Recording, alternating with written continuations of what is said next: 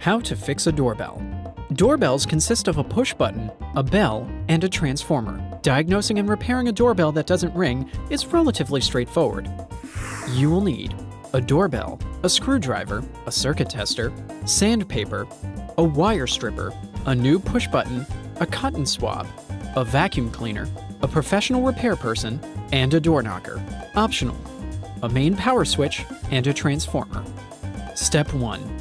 Remove the doorbell's faceplate from the wall with a screwdriver and pull the push button away from the door jamb without touching the wires. Step 2.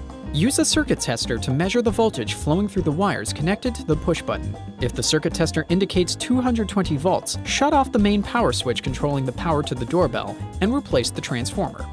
Step 3. Disconnect the wires from the push button if the circuit tester indicates no problem with the voltage. Holding the insulation, touch one wire to the other. If the doorbell sounds, the problem is with the push button. Step 4. Sand the terminals on the push button with fine grit sandpaper and reattach the wires with fresh wire ends. Push the button. If the doorbell still does not sound, there is a problem with the interior of the push button. Replace the push button.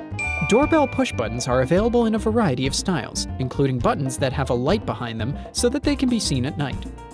Step 5. Remove the cover of the doorbell and clean the inside if the bell makes a humming sound when you connect the wires. Also check for loose connections. Step 6. Clean the bell parts with a cotton swab and vacuum cleaner. If that doesn't fix the problem, call a professional or consider mounting a door knocker. Did you know? James M. Cain's novel T was first adapted for film in 1946 and has since become a film classic.